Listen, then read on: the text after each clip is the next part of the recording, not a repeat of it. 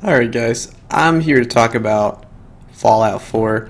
Um, I just loaded a save file over here, and what I want to go ahead and do is just talk about the game a little bit. So, the main thing I'm going to be talking about here is what I don't like about the game, what I don't like about the plot, and the story, and I'm just playing a, a character I've already finished the game with here. I'm just going to run through a random area that I haven't explored here just to kind of have something going on in the background. So uh, the main thing I'm going to be talking about here is going to be the main things I dislike about Fallout 4, the main thing I dislike about the story. Now I know there's people who've done like best five things, worst five things, or whatever, and just get some shit out of the way. I don't care if the graphics suck on PC. These textures are garbage. Someone's going to put something out for that. That's fine. The shooting controls, the X and Y axis aren't on the same speed level, so to speak. So like you, I believe it's the left to right is faster than the up to down. So the aiming's a little bit wonky unless you change your settings in there. Um, the field of view is a little bit low for PC. It's set to 70 by default, but I think I changed it to 90. It kind of looks the same to me, but um, I'm playing on 2560 by 1440 instead of uh, 1920 by 1080, so that might be why. So those things out of the way, we're really gonna, I'm going to be talking about the story. What I don't like about the story, the setup for Fallout 4. So there's going to be a lot of spoilers here. I'm probably going to say fuck a lot involuntarily. So forgive me for that. But I'm, I'm going to talk about the story specifically, what I don't like about the story, and how it was executed. So the main thing is the the way the game starts off is you're the lone wanderer. You can pick the male or the female, um, and you go through the game finding your son Sean. The idea is that they drop a nuke. You're from pre-war uh, Massachusetts, Boston, whatever, and you're put into cryogenic stasis with your wife and your son, and your son is kidnapped. And I think the setup for the game is fine. It's really similar to Fallout 3, where Fallout 3 is a little bit in reverse, and you're the son looking for the father instead. So this this game they have the other way around. That's fine. You're not messing too much with the formula. You had lots of success with Fallout 3. It was a really well put together game. The issue comes in when you you change a lot of things down the road in the in the storyline. You don't give your player a lot of options. So a lot of people have been talking about how they don't like the the limited options that are available in Fallout 4, and it's something that irks me as well. So in Fallout 4, there's four four main factions. I believe it's four. So you have the Institute, you have the Minutemen, you have the Brotherhood of Steel, and you have the Railroad. So those are your more, your your main four factions in the game. And what happens is no matter who you progress within the game, because you get an opportunity to meet to meet everyone. You get to meet the Brotherhood. You get, everyone you get to meet. So my main gripe here is that even though you get an opportunity to is this person evil too? I don't know. They're dead. But even though you get an opportunity to play with each of the factions, you don't get an opportunity to really make any drastic changes. And when you actually get to make a choice of which faction you side with, it's it's all of a sudden. So when I was playing, I started off with the Brotherhood of Steel. That's the one I just advanced the most with in the game. Even though you start with the Minutemen, I advanced the most with the Brotherhood of Steel. And even though I wasn't too crazy about the faction, I was just like, oh, well, I'm just going to go down the quest line and I'll go ahead and finish the main one eventually. It drops the bombshell on you after you accept a quest, after you've met the other factions, then all of a sudden you're going to go hostile with the Railroad and the Institute. And I don't like the way that that was done.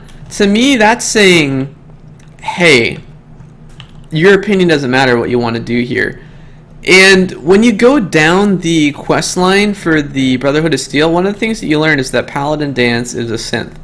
And you're able to talk Elder Maxson out of killing Paladin Danse because of the good stuff he does if you have high enough charisma, and he gets to live as a synth.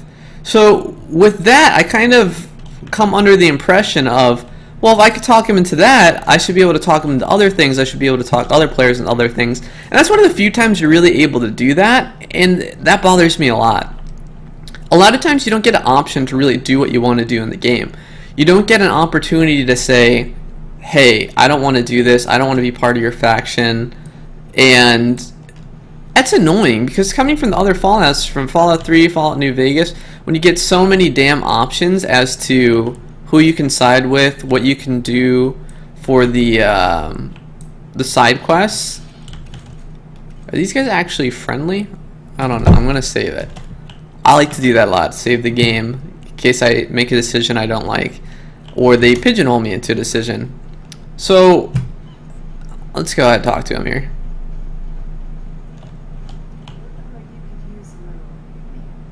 Okay, so it's a quest. So what really annoys me there is again they they really pigeonhole you into a certain ending. In like Fallout 3, Fallout New Vegas, you had a lot more options and they were all different. This one is a lot more yes, no, sarcasm, and maybe a charisma thing if you're lucky. And there aren't a lot of charisma things. There aren't a lot of um, you know ability special checks or anything like that. So it's really frustrating that they went that route. I'm gonna go ahead and run through this quest real quick.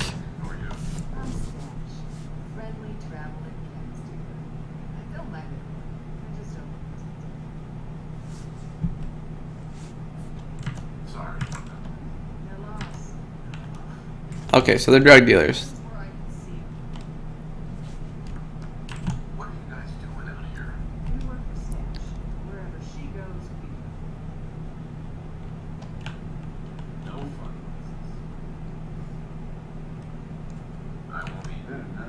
I'll just skip through this.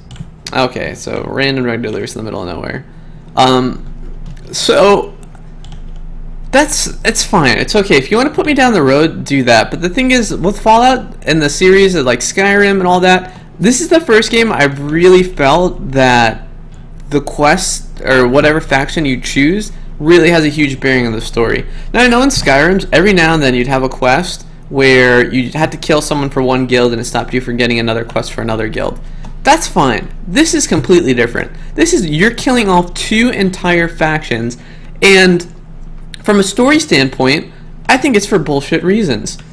When you talk about the Institute initially in the game, they're kind of freaked the fuck out of me. Um, blah, blah, blah, blah, blah.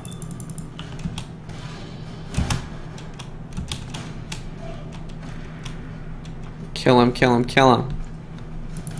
I pretty much only use VATS in the game right now. Again, the shooting system is really improved, but I have a lot of points in the VATS and luck so normally you get crits on it where you don't get crits if you just sit here and blast the guy in the face. And when you do that, it's kind of boring, honestly. Uh, the even though it's a you know first person, third person shooter, the actual the actual system that you use uh, in order to shoot things at I mean it's kind of dull because every enemy just runs in a fucking straight line for you or stands behind cover and shoots shit. So it's not like you really get a lot of unique experiences. Uh, yeah, you get like Assaultrons and stuff where they hit like fucking trucks, but it's not really doing a lot gameplay wise. So, it so since they shove you into one of the factions and they make you kill off the other two, I think it's stupid because you don't get the opportunity to do a lot on one playthrough with the character. You don't get the ability to say, "Hey, I'm gonna play this character," and you know, go through all the faction quests and get all the cool items I can. You could straight up have like one quest in with the railroad and one quest in um, with the institute, and then it's just kill them both off. And why? Like when you're given the reason why, it's kind of poor because Elder Maxson's first like we need to kill all the synths and everyone that's not human, um, and he's pretty non-transparent about that. Why the fuck are you gonna let me say Paladin Danse? You're not gonna let me say no, fuck you, or let's do something else. It's just straight up, let's fucking nuke them. Even as the Minutemen, where the Minutemen makes zero sense to do that, you say, oh, well, fuck them. We're just going to kill them because everyone says the Institute's bad. Now, again, looking at the plot hole, so you're chasing after Sean. You find out that Sean's father. You find out the father's actually 60 years old as opposed to the 10 years that you're initially led to believe by Kellogg. Um, and, you know, seeing the little baby Sean in his dreams or whatever. So you go through all that, but then again, it leaves you with more fucking plot holes. Why would obviously Kellogg would know? Hey, this guy right here is not your fucking son. He's a fucking synth. I don't have a real reason to hide that from you because, you know, what's the point? He doesn't really seem to care about the Institute. He's just in it for the money. And, I mean, you literally get more backstory on fucking Kellogg than you get on Father and yourself as a character. Like, what? Why do you have more information? You have a bigger fucking dream sequence that you stole right out of Inception about what the fuck Kellogg's life was like. You get to see Kellogg as a fucking kid. You get to see Kellogg as, uh, you know, an older guy. You get to see him as a teenager in his 20s, his 30s, whatever. You get that whole fucking backstory on Kellogg. You get to dive into his brain and see all of his shit. But all of a sudden, you go into the fucking game and you don't know, you barely know shit about Sean. You barely know shit about yourself. And you don't really get any options to make a story other than, oh, I was in the military and I was frozen and that's my story and my son was stolen and like so frustrating. And I mean, I get it. Like they explain that, you know, Kellogg, the reason that Kellogg is um, so young relatively to everyone. Okay, this guy just fucking showed up out of nowhere. Awesome. What a fucking great spawning system. There's no one in front of me, I press a button, boom, right in my face. A regular ass guy.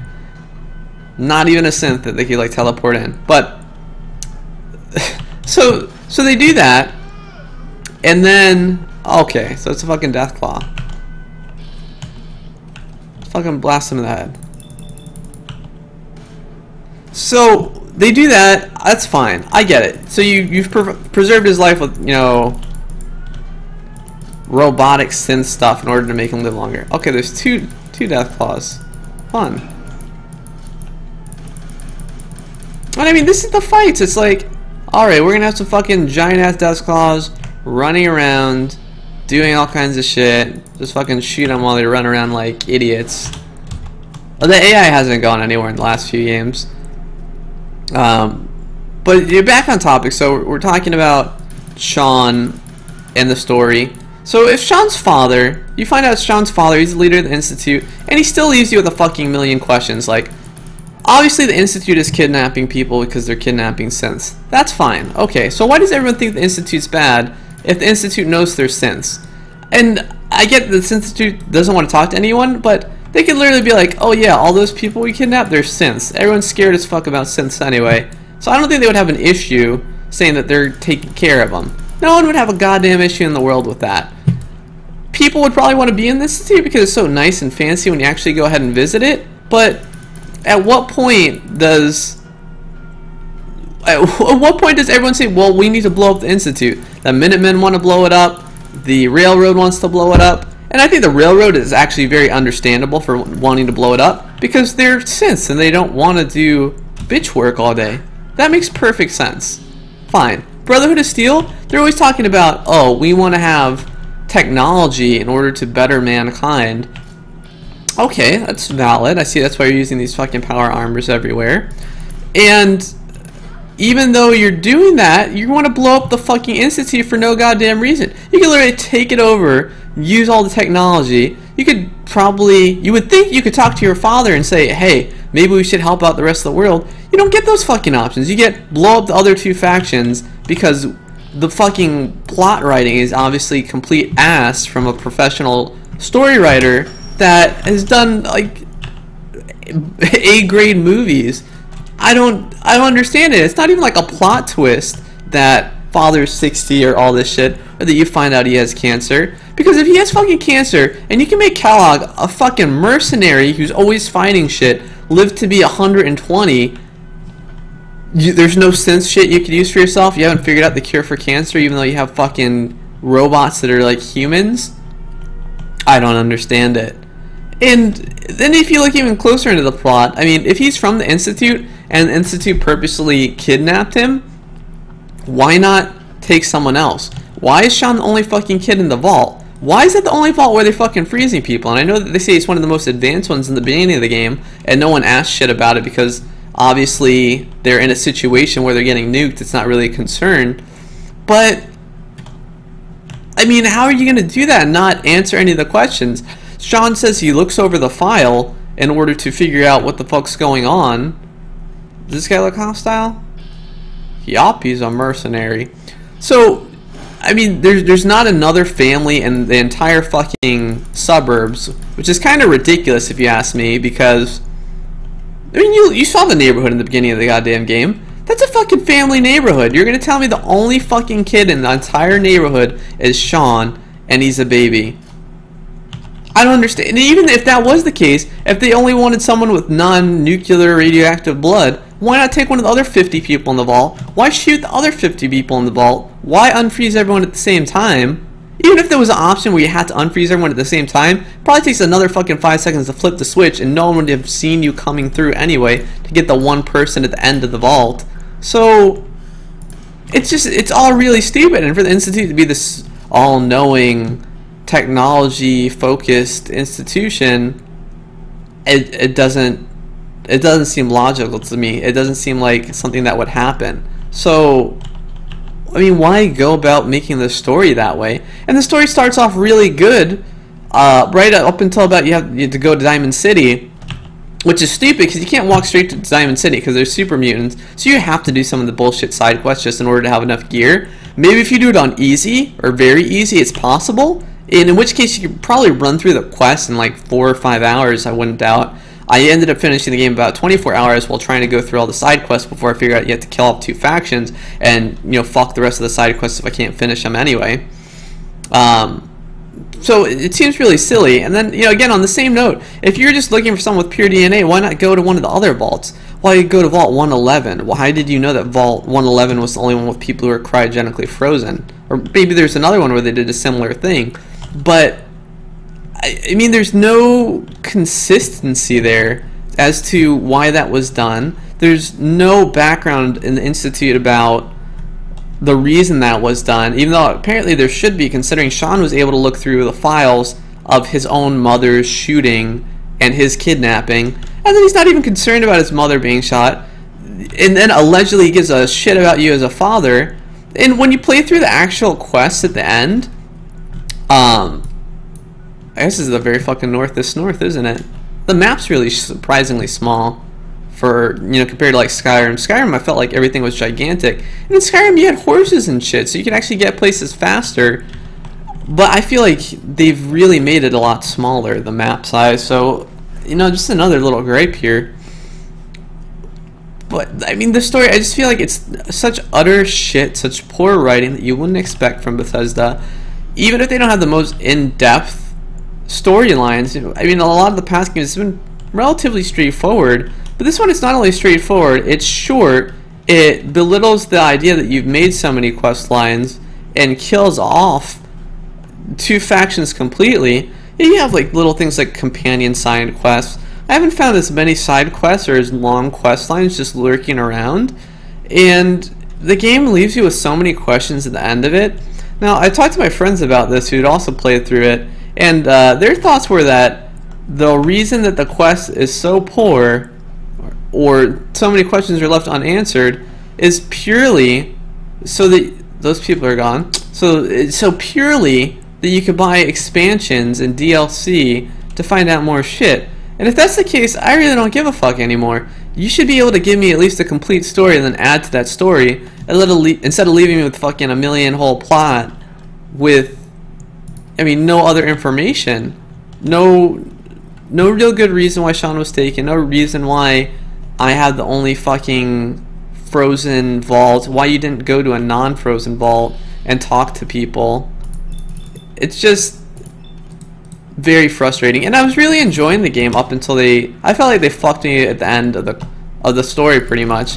And I mean, we talk about things like um, there's a, a movie called Repo Man, and I'll spoil that here too for you. But pretty much, uh, I think it's Jason Statham or something like that who's in it, and they live in a situation where the medical industry gives you like a heart transplant or whatever, and it costs pretty much an infinite amount of money, and if you can't pay for it, they just fucking yoink the shit from you and you die. So, I feel like this game has an ending that's really similar. Pretty much at the end of that movie, you find out the guy actually gets crippled and is on life support. Oh fuck that awkward moment you forget that you're in a. Yeah, I'm in one of these guys. I'm gonna save. I just knocked my microphone. I'm just gonna save this real quick and get out of here. I might not even save this game, but um. So at the end of that movie, what happens is they discover that the main character, the protagonist, had actually gotten into an accident and they had him on some life support pretty much. And like he thought he was overthrowing the whole fucking system and doing all this shit. And what happened? The dude was fucking brain dead and they had him on a machine. I feel like they kind of gave us that fuck you ending at the end of this game too, where it's it's like there's there's no point to the whole quest. It's like you just did it just to get the money from the goddamn game without giving a shit about what the actual storyline is. And I feel like that's just it's a cop out. And for a game with a budget like this, it just seems really silly to to go that way about it. And I mean, those that's my thoughts on the game and the story. There's a lot of questions, and I mean, uh, right now, I'm, I'm probably gonna end this video soon because I don't want this running 30 minutes like it probably is right now. But you have the Dr. Virgil, and one of the things that makes everything seem really shady is Dr. Virgil leaves the institute. He's told that he's dead. So you know, Father's you know lying or bullshitting to some degree in the game, and that makes him seem kind of odd. I mean, you can tell that he's definitely the son of you and your wife because the way he looks in the game is actually determined by the way your character and your wife's character looks. I think this is the end of the fucking map, isn't it? Can I even swim up here?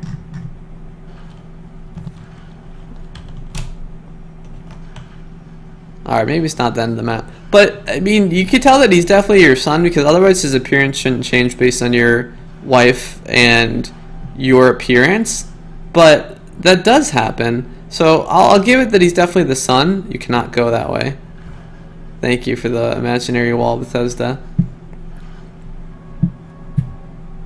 Could you give me some like epic loop in the corner of the world? But so you have that. No one really tells you the institute's bad. You could kind of just infer it by the people disappearing, but the people disappearing are synths. So I just I don't get it. I don't get the plot. I don't understand why invest so much in the plot if you're gonna make it that shitty and not answer the questions of it. So I'm just really disappointed by that. The way that they decided to go about that. That's my main gripe. I mean, otherwise, if, if you just want to play the game for playing the game, you really can't go wrong, but the story literally made the rest of the game unplayable for me. I stopped caring about everything because if you're going to say this is your main focal point and invest so much time to the game to that and in the end make everything a big fuck you, then who gives a shit? I mean, why why do it that way? Why leave so many plot holes? And that's just my main gripe. I don't know what your guys' thoughts are on the game hopefully you let me know. Hopefully you enjoyed the video of me running around the middle of nowhere and not doing anything because the quest is fucking over and the side quests blow. I just think Bethesda could have done better. They opted not to. So I'm a little sad about that. But uh, again, guys, give me your thoughts here. I know I didn't talk too much about the settlement systems, the crafting systems. Again, they're not bad. It's not it's not poorly done in that aspect, but uh, there's just like no motivation to continue playing the game at this point. And if you're gonna explain everything on DLC, I'll be happy that you gave me the answers that I'm looking for in the game that aren't provided in any aspect. But I'm going to be disappointed that you're going to charge me in order to do that, as opposed to at least giving me a full story for the beginning of the game would have been nice, and then having some kind of extension of that. Maybe something even pre-war would be kind of cool. But I mean, it is what it is. So uh, again, guys, let me know your thoughts on this. If you haven't played through the game, obviously, don't watch this video because I ruined fucking everything for you. And uh, I'll catch y'all later.